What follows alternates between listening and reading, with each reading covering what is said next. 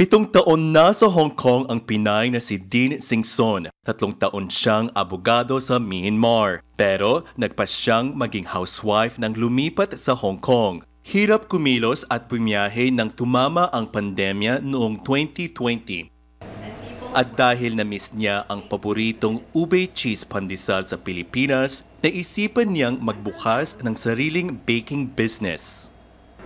Sa bahay muna niya ito sinimulan, hindi nagtagal. Dumami na ang order kaya umupa na siya ng kusina at ipinarehistro ito. Kasama ang kaibigang si Veronica Leung, binuksan nila ang Purple Flower Hong Kong noong August 2020.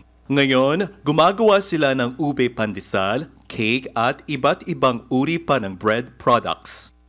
If your work is not fueled by passion, people will feel it. I know that it, it can be daunting, it can be difficult to think about like starting something, but just do do the baby steps.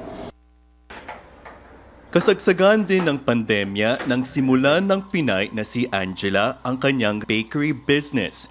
Nag-train siya at kanyang asawa sa isang baking school nang magbakasyon sa Pilipinas. Ibinibenta niya ang kanyang mga produkto gaya ng ube cheese pandesal, iba't ibang tinapay at cake online.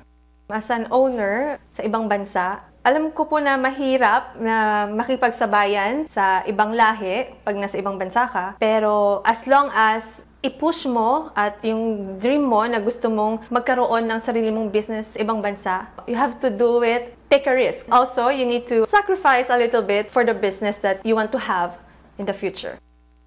Sa umpisa, tila mahirap magtayo ng negosyo sa ibang bansa.